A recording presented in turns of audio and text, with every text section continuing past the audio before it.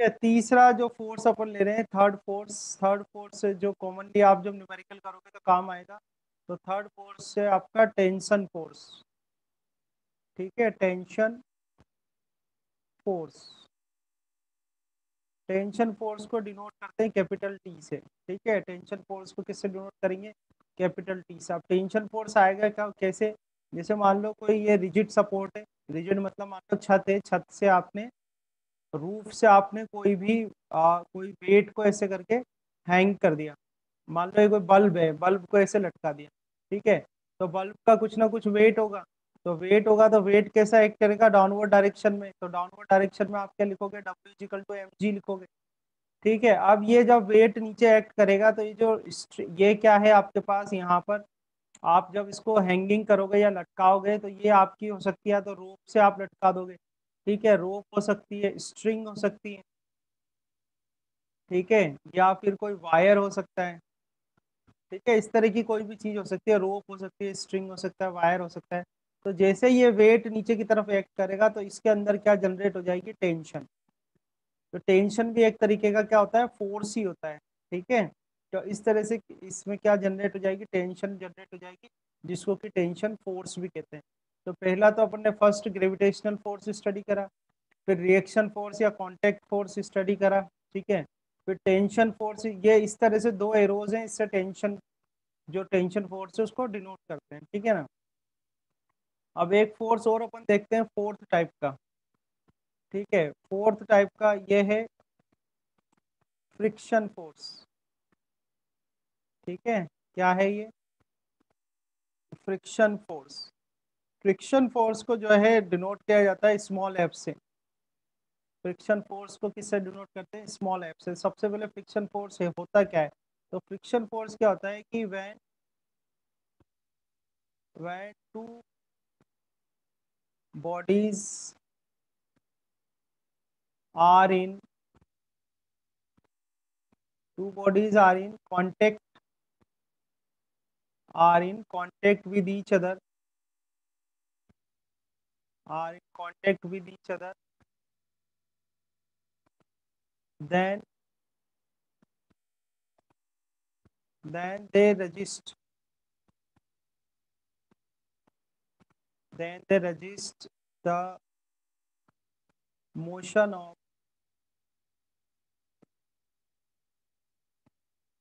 ठीक है when two bodies are in contact with each other then they resist the motion of motion of each other ठीक है? The resisting force the resisting force is called the resisting force is called friction force ठीक है? The resisting force is called friction force उस force को अपन क्या बोलेंगे? Friction force कहते हैं, ठीक है? अब ये जो फ्रिक्शन फोर्स है, ये दो टाइप का होता है। एक होता है स्टैटिक फ्रिक्शन एक क्या होता है? स्टैटिक फ्रिक्शन या स्टैटिक फ्रिक्शन फोर्स कह सकते हो आप इसको। स्टैटिक फ्रिक्शन इसको एफ़ करके और एस से डिनोट या एस लगा देते हैं। ठीक है? तो इसको बोलेंगे स्टैटिक फ्रिक्शन या स्टैटिक फ्रिक्शन फोर्स तो स्टैटिक फ्रिक्शन या स्टैटिक फ्रिक्शन फोर्स क्या होता है? When when two bodies when two bodies are in contact to each other contact to each other and and if any one any one body is in tends to tends to ठीक है? कोई भी एक body क्या है? इसी position में tends to move tends to move का मतलब चलने वाली अभी चली नहीं है। ठीक है? मोशन करने वाली अभी मोशन उसने किया नहीं है। So if any one body is in tends to move condition tends to move condition then friction is called friction मतलब फ्रिक्शन फोर्स ठीक है? Then friction is called friction is called static friction friction is called static friction तो उसको हम क्या बोलेंगे? Static friction बोलेंगे, ठीक है? तो इसका मैं एक डायग्राम आपको बताया था देखो आप स्टैटिक फ्रिक्शन का। तो इसमें क्या हो रहा है? दो बॉडीज हैं, एक दूसरे के कांटेक्ट में है। अभी उनमें मोशन हुआ नहीं है, यानी मोशन करने वाले हैं वो, ठीक है? तो देखो इस तरीके का डायग्राम है। यहाँ देखो आप जैसे ये कोई सरफेस है, ये सरफेस हो गई। ठीक है, इस सरफेस पे कोई ये ब्लॉक रखा हुआ है, इस तरीके का ब्लॉक रखा हुआ है। ये ब्लॉक रखा हुआ ठीक है, अब इस ब्लॉक पे मान लो ये एफ़ फोर्स लगाया हुआ है यहाँ पर। है ना? ये एफ़ फोर्स हमने यहाँ पर लगा दिया। या पी से डिनोट कर दिया। इसमें जो पी है पी को हम बोलते हैं P is equal to applied force ठीक है? पी इज़ इक्वल टू क्या है? अप्लाइड फोर्स है। ठीक है ना? अब यहाँ पर ये जो बॉडी है, इसका मास क्या है? एम है। तो एम मास है तो इसका वेट कितना हो जाएगा? वेट हो जाएगा इसका W is equal to M G weight कितना हो जाएगा? W is equal to M G और इसकी वजह से जो रिएक्शन फोर्स लगेगा, जो भी मैंने इससे कल वाले लेक्चर में ही आपको सिखाया था तो रिएक्शन फोर्स क्या हो जाएगा? आर हो जाएगा। ठीक है? रिएक्शन फोर्स का जाएगा? आर हो जाएगा। अब इस फोर्स की वजह से अगर इसमें मोशन होगा तो कैसा होगा? इस डायरेक्शन में। अगर इसका मोशन होगा तो मोशन किस डायरेक्शन में होगा? इस राइट साइड डायरेक्शन में होगा। तो अभी ये जो बॉडी है, या इस इस बॉडी को मैं बोल देता हूँ ये जो ब्लॉक रखा हुआ है, इस सरफेस पे, ठीक है? So the block is in the block is in is in tends to tends to move condition ठीक है, जो ब्लॉक है वो किसमें है? टेंड्स टू मूव कंडीशन में है। टेंड्स टू मूव कंडीशन में मतलब कि अभी वो मोशन में नहीं है। मोशन में आने वाला है, ठीक है? तो इस केस में जो फ्रिक्शन होता है, उसको बोलते हैं स्टैटिक फ्रिक्शन उसको एफएस से बताते हैं। और ये स्टैटिक फ्रिक्शन जो होता है, ये नॉर्मल रिएक्शन के क्या होता है? प्रपोर्शनल होता है। स्टैटिक फ्रिक्शन जो होता है नॉर्मल रिएक्शन के प्रपोर्शनल होता है। प्रोपोर्शनल को हटाते हैं तो एक कांस्टेंट आ जाता है, उसको लिखते हैं म्यू एस तो ये म्यू एस और आर आ जाएगा। तो ये स्टैटिक फ्रिक्शन का फॉर्मूला है। स्टैटिक फ्रिक्शन का फॉर्मूला क्या होता है? F S equal to mu S R इसमें जो म्यू एस होता है, इसको बोलते हैं coefficient of coefficient of static friction इसको बोलते हैं कॉफिशियंट ऑफ़ स्टैटिक फ्रिक्शन तो ये क्वेश्चन में गिवन होता है किसी भी सरफेस के लिए, ठीक है? और ये कॉफिशियंट ऑफ़ स्टैटिक फ्रिक्शन जो होता है, किस पे डिपेंड करता है? Depends on depends on roughness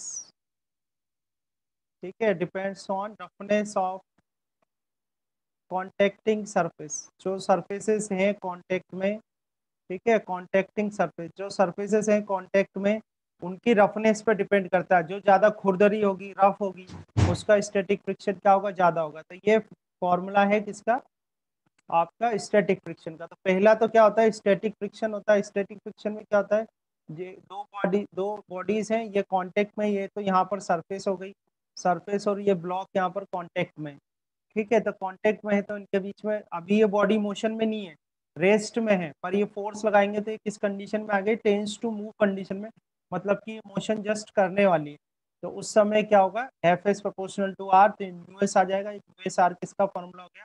static friction का। ऐसे ही जो इसका सेकेंड पार्ट है बी पार्ट बी पार्ट जो है, उसको बोलते हैं काइनेटिक काइनेटिक या डायनेमिक फ्रिक्शन। काइनेटिक या, उसको क्या बोलेंगे अपन? डायनेमिक फ्रिक्शन कहेंगे। तो काइनेटिक या डायनेमिक फ्रिक्शन जो होता है, इसको रिप्रेजेंट करते हैं एफ़ के से।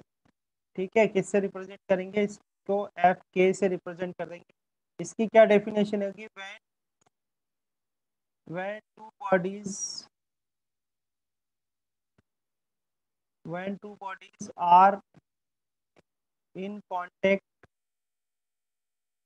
when two bodies are in contact having relative motion having relative motion ठीक है relative motion then ठीक है when two bodies are in contact having relative motion with each other है ना having relative motion with each other then the friction the friction produce is called, friction produced is called kinetic और dynamic friction उसको अपन क्या बोलेंगे? Kinetic या dynamic friction कहेंगे। अब की बार क्या होगा? बॉडी मोशन में होगी। पहले क्या था? जस्ट इन मोशन में थी। तो इसको हम रिप्रेजेंट करते हैं एफ़ के से। ये भी प्रोपोर्शनल होता है आर के। पर यहाँ पर प्रोपोर्शनल हटाएँगे तो यहाँ क्या आ जाएगा? म्यू के आ जाएगा तो ये म्यू के आर हो जाएगा। तो ये जो काइनेटिक या डायनेमिक फ्रिक्शन है, इसका फॉर्मूला क्या होता है? म्यू के आर होता है। ठीक है, इसमें म्यू के क्या होगा? म्यू के होता है कॉफिशियंट ऑफ़ ठीक है कॉफिशियंट ऑफ़ काइनेटिक फ्रिक्शन इसको बोलते हैं कॉफिशियंट ऑफ़ काइनेटिक फ्रिक्शन ठीक है? तो आपको एक तो ध्यान रखना है कि जो स्टेटिक फ्रिक्शन होता है, वो बड़ा होता है किससे? काइनेटिक फ्रिक्शन से। तो आप इसको लिखोगे म्यू एस आर इसको लिखोगे म्यू के आर तो आर से आर कैंसिल हो जाएगा। तो यहाँ पर static coefficient of static friction क्या आता है? कॉफिशेंट ऑफ़ काइनेटिक फ्रिक्शन से बड़ा होता है। ठीक है?